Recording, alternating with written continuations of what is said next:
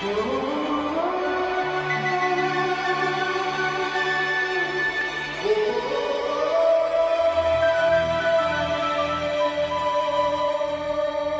is kung fu fighting. Your mind becomes fast as lightning. Although the picture is a little bit frightening, little bit frightening. The night that you're riding. I have an itty bitty feeling that this video is going to bring back a little nostalgia for all you guys watching this video now because it's going to date back to the memories of being a child. This is the games I played when I was a kid. If you can relate, happy days. If you didn't play this game when you were a kid, right? Uh, I don't know what kind of a childhood you had. This game is called Touch, or if you're American, Tag. You know, if you got touched, shit was about to go down because all you had to do in this game was to just touch a person and then they would be it. That would mean they would have to touch another person for them to be it, if you know what I mean. Ah, oh, bloody hell, what a lovely game that was. Nice and simple game to play on the schoolyard. Bloody marvellous. Anyone ever play Duck Duck Goose? Duck, duck, duck, duck, duck, goose.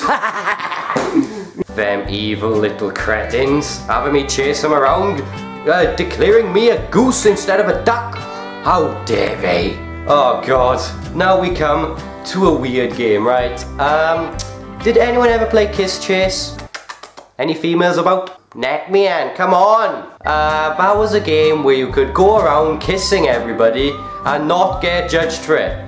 Remember that in primary school? I certainly do. Everyone was playing Kiss Chase, even the girls. Even the girls were playing Kiss Chase. Whatever you do right, do not play Kiss Chase when you're in comprehensive school.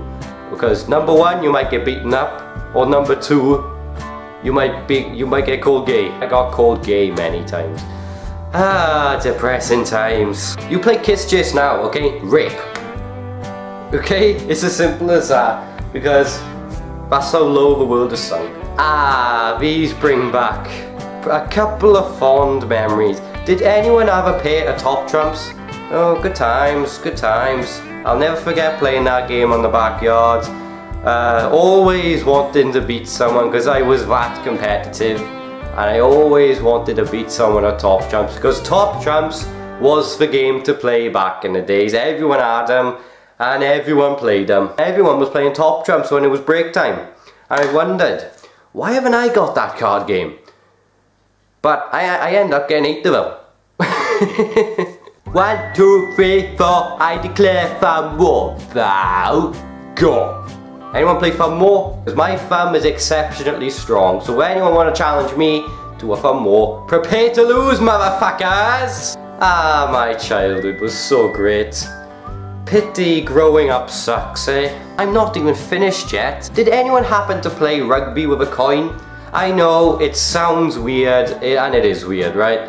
Basically, you've got a table and you've got a coin and you've got your index finger, right? You had three goals to get it at the other end of the other person's end of the table. And if you got if you had it off the edge of uh, the other person's table, it was deemed as a try. I won most of the time, I gotta say. No, actually I didn't win most of the time, I, I lost most of the time. Because I was shit at it, not gonna lie. But, um, so that was called a try. If you want to know what a conversion looked like, you basically, right, just did this to make H to represent the posts and the one who scored the try would use their thumbs to hoist the coin over your fingers. So that would count as three points. I, I played it all the time and it was great, absolutely great. Even though I lost most of the time because I'm such a loser! If you were a child and you never ever went to a tree for one certain thing, I know this sounds weird, if you never went to a tree for one certain thing, you had a bad childhood. And what I'm referring to is conkers camera had to run out of battery, didn't it? Well, that's completely ruined that scene, but I'll attempt to save it. Ah, conkers, who can forget them when you were a child standing by a tree uh, wandering around like you're playing treasure hunt and trying to find a conker, maybe free or in its shell. And by the way, its shell is a blinking bitch to open.